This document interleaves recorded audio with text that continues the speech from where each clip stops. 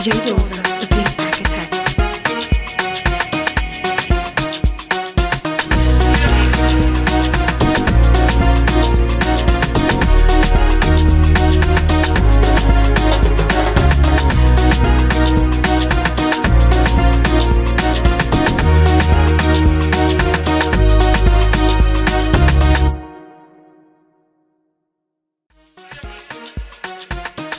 DJ architect.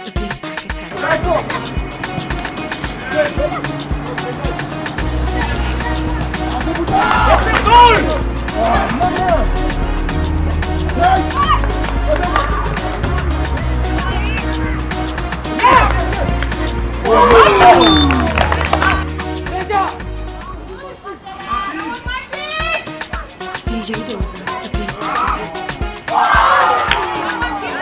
Uh, no, uh, I think we lost control of the pace and the, the tempo the game. We let it go. We were trying to defend our goal at least in the last minute, but then unfortunately we couldn't have got a better counter attacker. But either way, yeah, we, we tried our best. We thought we were going to get our hands on the trophy, but uh, unfortunately not. And in the counting, this now the third year again losing a league on a small, small margin having lost the league on a goal difference, having lost the league on one point, having lost the league on the final minute. So uh, we have to take courage through that and to come back strong again next time. Uh, as of next year, we just have to uh, be uh, a, a strong team. We try to change the formation here and there, and we also try to at least make the boys to learn how to to control the game and defend their game, and it's in their favor, especially in the closing manner. Yeah, but either way, uh, you know, when you're in your home ground, you're beaten up nicely. The home crowd was amazing, and then as of our boys, poor them, they couldn't get anything out of it, but they tried. Um, I like finals where where the winner is not clear. You need to keep on fighting till the last minute. I think we started out well, um, put them a bit on the back foot, but then maybe 10 minutes into the game we lost a bit the midfield because I, I made a structural change and from there on they, they, they piled on the pressure. Um, after we scored the goal, I think we, we went down in performance as well, losing the second balls, not being aggressive enough when the ball comes out of our box, and then they kept us on the back foot.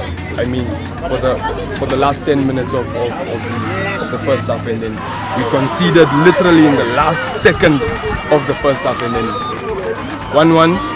Half-time team talk. It was it was up to me to lift the spirits a bit, but I think I put a lot of pressure on the boys during halftime, and it was evident the first few couple of minutes in the, in the second half until I asked them to come down a bit, come down and just play. Um, we conceded at the worst possible time because I think that's when we got our momentum back. And then we needed to dig deep again to, to find the two goals. But I take a win any day. For next year, um, ever since we started this, usually I, I, I coach 11v11 teams. So this year when I got a, a 9v9 team, my, my, my thoughts were always grooming the boys to play an 11v11 game. So many of these players, they've, they've heard this many times over and over and over again. What we do today is not for today. I'm preparing you to be the best footballer you can be. So we just keep on doing that. Just keep on doing that.